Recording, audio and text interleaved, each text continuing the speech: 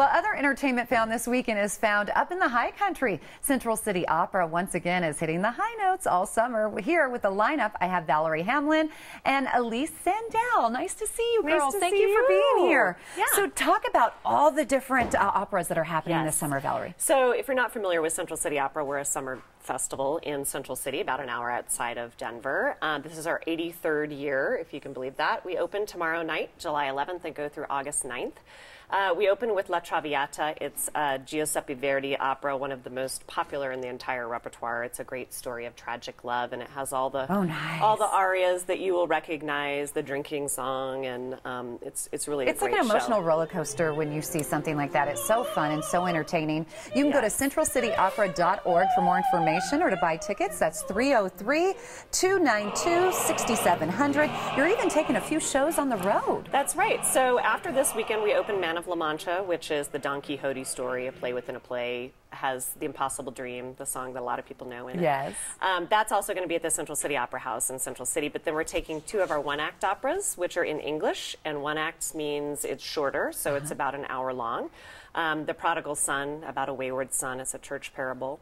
Uh, and then another Don Quixote story, Don Quixote and the Duchess. Um, that is going to, the, both of those are going to go on the road, and they're going to go to Fort Collins in Colorado Springs, mm -hmm. and, and, also why, in Central City. So. Why do something like this? Well, so for the past several years, we've been really trying to reach out um, to new audiences, and we did that last year with two, with a show in, in Denver with Sound of Music, and mm-hmm. um, this year we're trying to reach some different communities, and we're bringing our opera to them because we know it's sometimes difficult to get to Central City. So we're really trying to reach new people in new places. And you have a Power Women project. What is that about? We do. The Power of Women. It's surrounding La Traviata, the powerful woman that um, the story is all about, and mm-hmm. how she uses her power.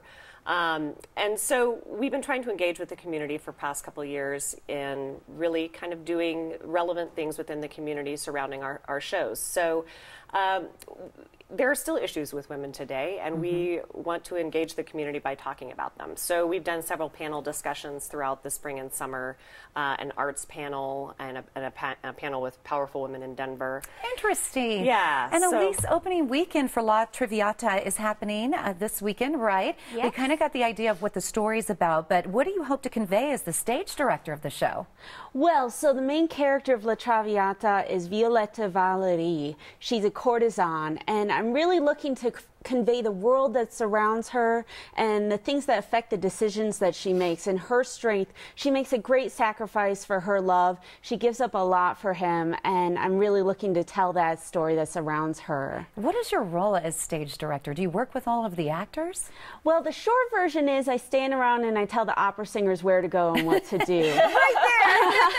but the long version is that I work with all these different collaborators at the company, along with our conductor and and the designers to affect everything that you see from the lighting and the costumes to the action that the singers are taking on stage and all of that coming together to perform to become one dramatic right. whole.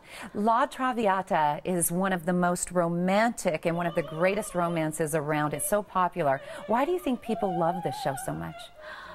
You know, people still fall in love today and people still make sacrifices for their love and that and you know courtesan a courtesan is kind of a tricky business it's basically right. a classy prostitute and people are fascinated by finding out about that life and about what happens to a person when they give that life up my goodness kind of like a pretty woman isn't mm -hmm. it it sort of is that story is very similar to the story of la traviata quickly mm -hmm. we have like 20 seconds yeah, left if sure. somebody hasn't experienced an opera why central city opera Oh well, I mean it's a it's a very intimate place. It was built in 1878, uh, 550 seats, a historic opera house. It's really I think the best place in the world to see opera because you're right there and uh, there's not a bad seat in the house. It's very intimate, right there with the with the performers. Perfect. So, Thank you for yeah. giving us a sneak peek. It's going to be amazing. Central City Opera starts this weekend with La Traviata. A few performances will also be hitting the stage in Fort Collins and Colorado Springs.